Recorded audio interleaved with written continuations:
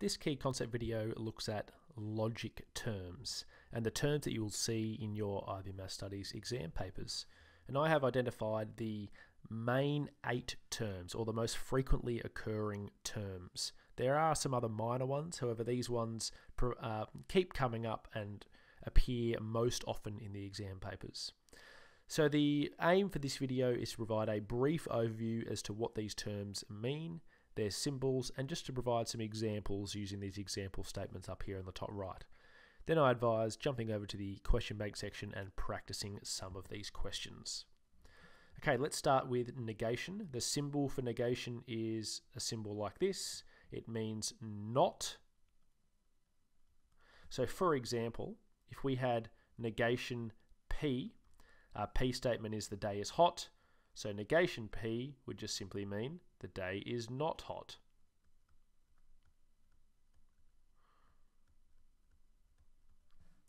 Next one, conjunction, symbol like a hut. It means and. So for example, Q conjunction R, if our Q statement is Kate wears a hat and the R statement is Kate drinks some water, it would be Kate wears a hat and drinks some water. Simple as that. Next one, disjunction has the opposite symbol of conjunction, so it's like a V, that means or. And the an example would be if I had Q disjunction R, it would probably be, in fact it would be, and you could probably guess this, Kate wears a hat or drinks some water.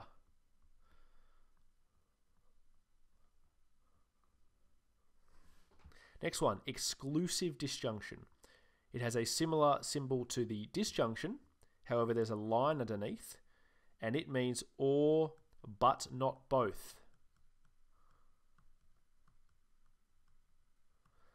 So an example, Q exclusive disjunction R would be Kate wears a hat or drinks some water, but not both. And I'm just going to put this in quotation marks but not both. Kate wears a hat or drinks some water, but not both.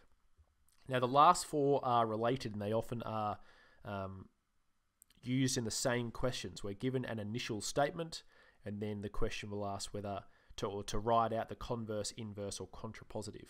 So let's start with implication. This is a very, very common one. It appears in nearly pretty much every single logic question it has a symbol like this, and it means if something, then something. Now that might make not not much sense. However, it will make sense in a second. If I have P implication Q, and just keep in mind my statements up here. P is the day is hot. Q is Kate wears a hat. So P implication Q will mean if the day is hot,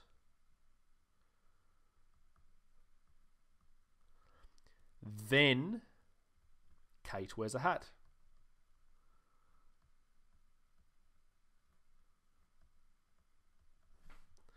Next one, the converse. Again, the symbols are all the same. The symbols are the same for all four. However, it's the order of the um, the statements that change. Okay, so we're looking at this initial statement here, P implication Q. So I'm, I'm actually going to draw a border around this because they're kind of their own separate section.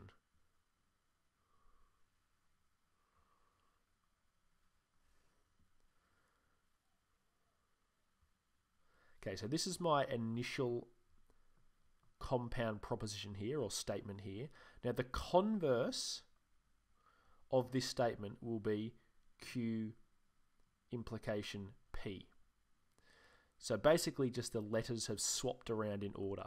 So the converse of this statement, and it won't quite make sense, it will be if Kate wears a hat, then the day is hot, which doesn't really make much sense. It's meant to go the other way, but that's what the converse means. So if Kate wears a hat.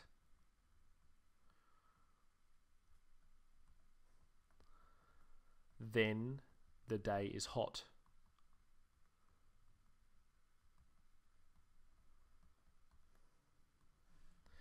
Next one.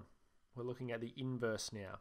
The inverse of this initial statement will be negation P, implication, negation Q. So the order of the letters are the same however, both have the negation symbol in front. And if we were to write this as a statement in words, it would be if the day is not hot, because negation P is the day is not hot,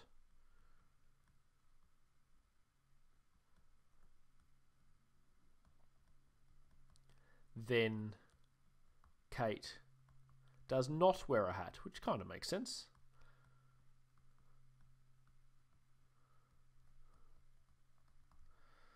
Now, finally, the last term, contrapositive, and you may guess it, it's going to be the letters switched around, or the, the example statement switched around. So it's going to be P implication, uh, sorry, the other way around.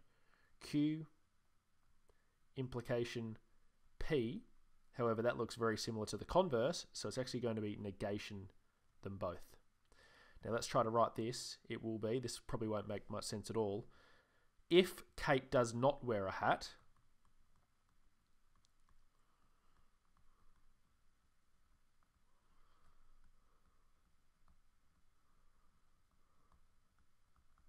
then the day is not hot.